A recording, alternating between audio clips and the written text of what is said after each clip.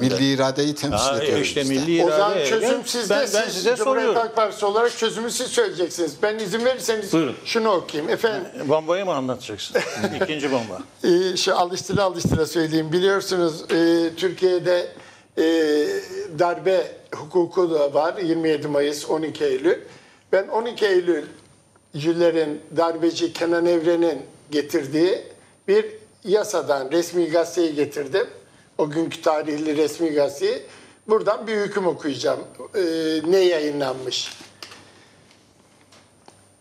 Kanun No 2324 kabul tarihi 27 Ekim 1980 yani 12 Eylül'den hemen bir buçuk ay sonra.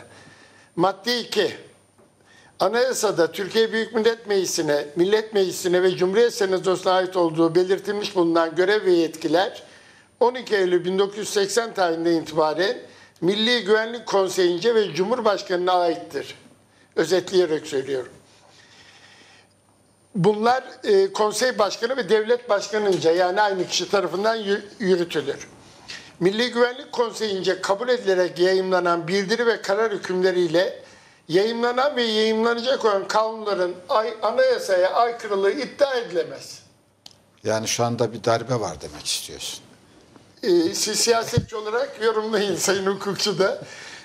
E, Yani anayasayı, yasaları takmayan bir, e, Bir- darbeci bir, Kenan Evren'in bir darbe yönetimi var şu anda anlamına gelir o. O, o E, dönemden tabii karşılaştıramayız. leblebi anlıyorsunuz. Evet doğru. Öyle maalesef. Yani bugün Cumhurbaşkanlığının kararnamelerinin anayasaya aykırılığı denetlenemez mi? Devam ediyorum. Zamanında. Madde 6. İki ay içinde. Milli Güvenlik Konseyi bildiri ve kararlarında yer alan ve alacak olan hükümler, konseyce kabul edilerek yayınlanan ve yayınlanacak olan kanunların anayasa hükümlerine uymayanları anayasa değişikliği olarak, yürürlükteki kanunlara uymayanları da kanun değişikliği olarak yayınlandığı tarihte ve metin olarak yürürlüğe girer. Yani anayasanın hükmü var. Fakat Kenan Evren bir yasa çıkartıyor. O anayasa emri gidiyor. Bir kanun var. Şekil A'da görüldüğü gibi İstanbul Sözleşmesi Kanunu. Bir kan- e, şey çıkarıyor, kararname çıkarıyor Kenan Evren. O kanun da kalkıp kanun yerine geçiyor. Yani bugün Sayın Erdoğan'ın yaptığı İstanbul Sözleşmesi kanunun iptali e, Cumhurbaşkanı kararıyla yeni bir kanun çıkartarak iptal edilmiştir.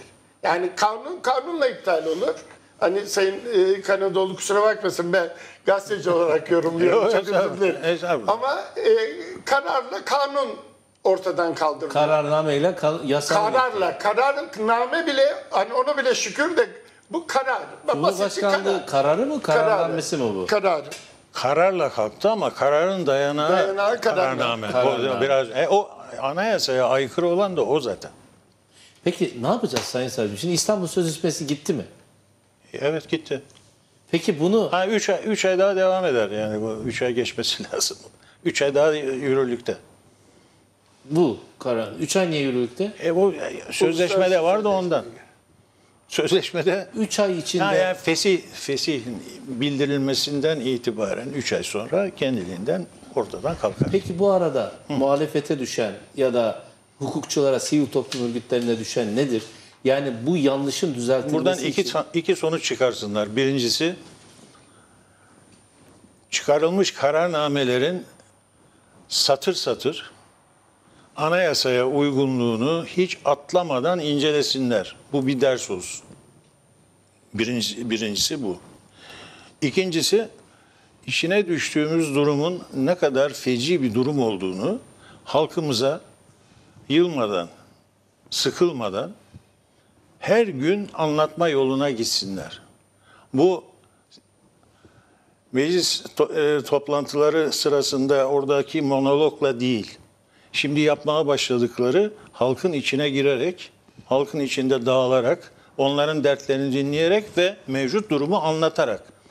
Ancak böyle e, baş edilebilir bu. Ama hesaplanan daha da büyük bir takım olaylar var. Mesela İl ve ilçe seçim kurulu başkanları kıdemli hakimlerden oluşur.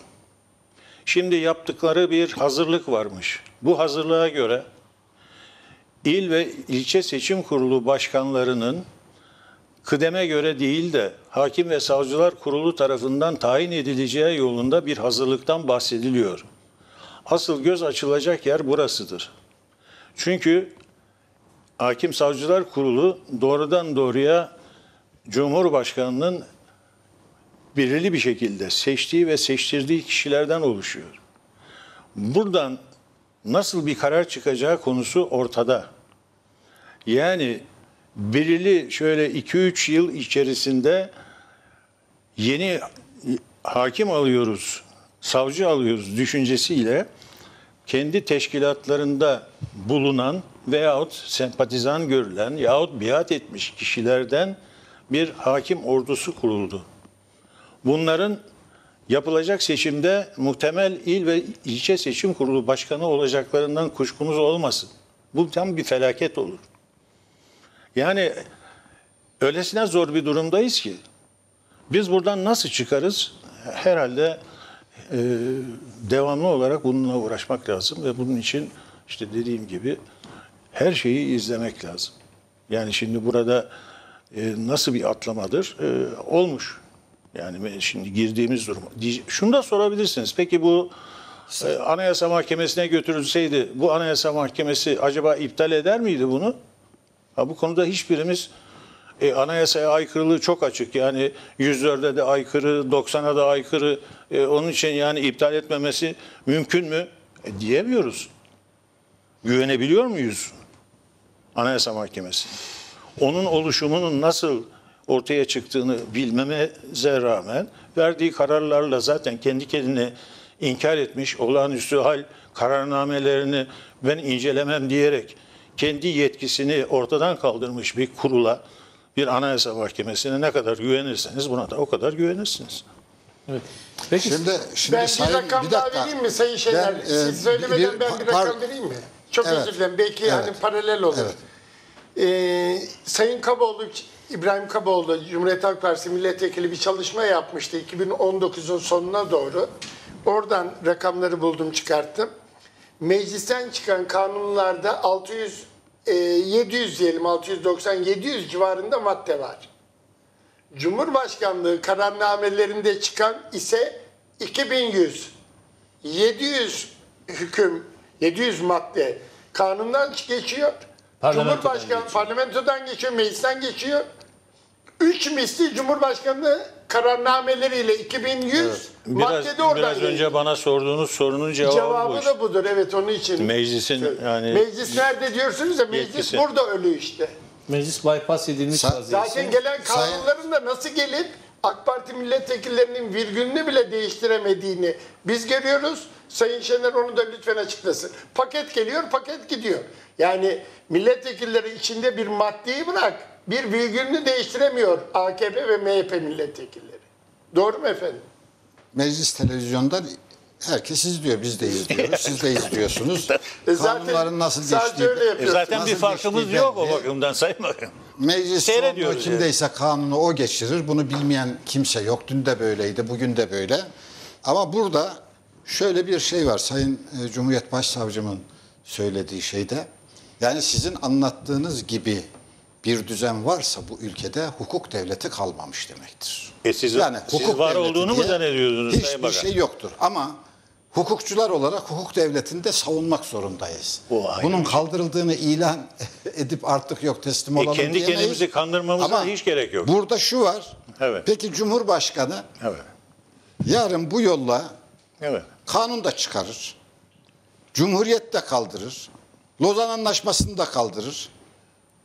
Siz söylediğiniz gibi ise Lozan Mozan hiçbir şey kalmaz. E şimdi o bu zaman imkanlara sahiptir demenin bir faydası yok. Belki de bununla bir test yapıyordu. Yani arkadan bir kanun teklifinin geleceğini düşünüyorum e, mecliste de. siz daha iyi tanıdığınız için bu bir, teşhisiniz bir test daha, yapıyordu. daha- daha- Muhalefetin de kendisini desteklediğini görmüş olmaktan dolayı çok mutlu olduğunu zannediyorum. Valla işte akıl sağlığı bakın ne yola giriyor. Şimdi bakın nelere gülmeye başladık. akıl sağlığımız Şimdi bu tehlikede işte böyle. bahsettiğiniz 9. 9 sayılı kararnamenin 3. maddesinin benzeri Evet. 244 sayılı kanunda da varmış. Ama var diye bu hakkı ta- tanıyor mu Cumhurbaşkanı'na tanımıyor. E işte söylüyorum ben. Efendim, daha iddialı bir şey Söylüyorum. söyleyeceğim. Anayasaya aykırı zaten e, sevgili bakan. Anayasaya aykırı olduğu Anayasaya konusunda. aykırı ise anayasaya aykırı olan bir usulle Evet. e, ister iptal olsun ister olmasın tutup da sözleşmeyi iptal edemez. Bu sözleşmeyi iptal kararını götürürsün o, o iptal olur anayasaya aykırılıktan. E nasıl Anayasaya götüreceksiniz? götüremiyorsunuz. Nasıl? Anayasa Mahkemesi'ne götüremiyorsunuz. Kararlar Danıştay'a gidiyor. Kararname Danıştay'a olursa gider. Anayasa Mahkemesi- Fark etmez. Değil mi efendim? Tabii canım. Hayır şimdi karar gidecek zaten. evet, Ve- Danıştay'a gidecek. ama o kararı götürürken diyeceksiniz ki bu karar 9 sayılı Anayasa kararnamenin hayır 9 sayılı Evet, anladım. Cumhurbaşkanı kararnamesinin 3. maddesine dayanılarak verilmiştir. Bu anayasaya aykırıdır. Evet, evet, ha, o, o zaman siz bir itiraz yoluna gidin.